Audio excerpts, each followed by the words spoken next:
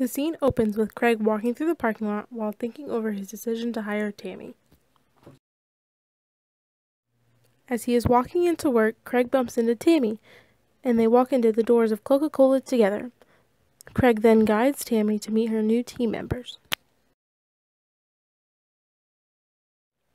We see Vern sitting in Craig's office as he was instructed to the prior day.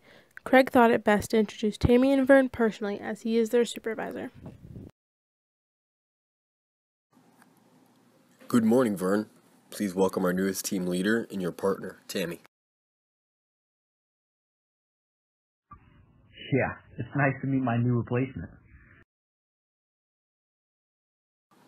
Now, Vern, we've talked about this.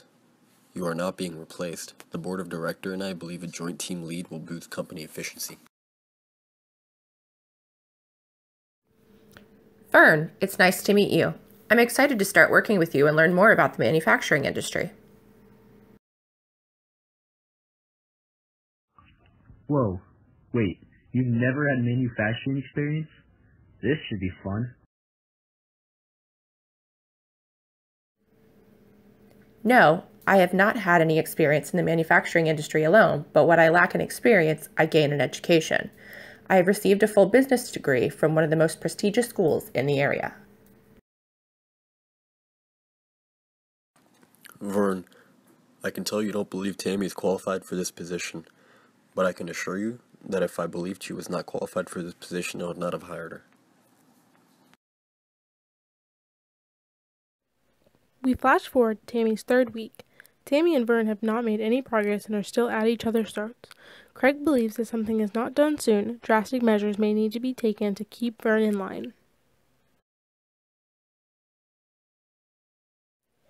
We check in on Tammy sitting at her desk. She seems to be working on an online template that will aid in the management of various departments.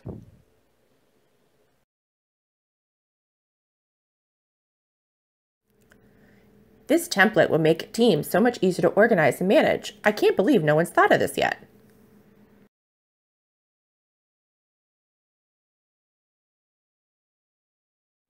We switch scenes to Tammy pitching her idea to the board of directors. Vern is sitting in on the pitch as it will affect his job directly.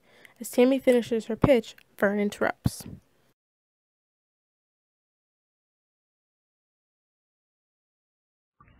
Have you ever heard of if it ain't broke, don't fix it? I run a tight ship here at Cloaca-Cola, and I don't need no girl telling me how to do my job.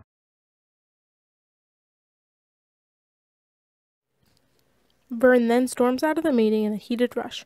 After, the board votes on Tammy's idea and they decided to implement it. We now switch to Craig giving Vern the news. We as a board have voted to implement Tammy's idea. We also voted to have her lead the implementation process as she's the one who created the template. If you have a problem reporting to her, then I don't know if there's a position at Cloaca-Cola for a non-team player. Vern is clearly taken back by the authority Craig is showing. He stated that he will work with Tammy as requested and not let Cloaca-Cola down.